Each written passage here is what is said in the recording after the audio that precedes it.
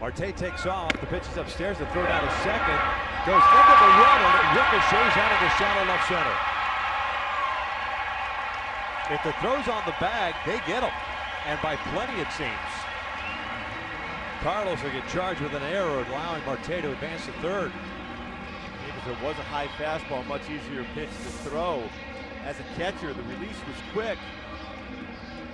Throw runs right into Marte. Yeah, they're going to get him if that ball was at the base. Quick release. The tailing action on the throw for Perez and forcing now the infield in. Definitely going to get him. Fortunate enough for Ergy, he didn't go right into the slide for Marte. Mike Scioscia holding things up here, trying to figure out what they could be looking at. Maybe if he touched. Okay, this sounds to me like they're going to appeal second base. He never touched the bag then. Because Mike was looking back at Dino. It's kind of an odd time for him to come out here. That's all I can think of here.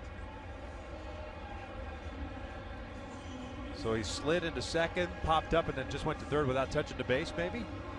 That's my guess.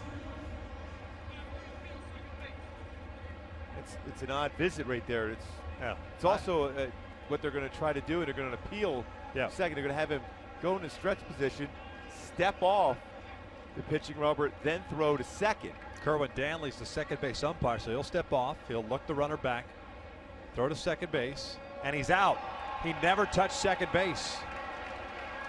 So he slid into the bag, into the area, never touched the base before advancing to third. That's that's ex- that's an excellent job by the whole coaching staff of the Angels to see that and to make that call and have Mike Scioscia run out to Jered Weaver to make sure to go through the proper protocol as far as what you're supposed to do. And he looks like he's a little short of the base right there, and still hasn't touched the base because that baseball was in front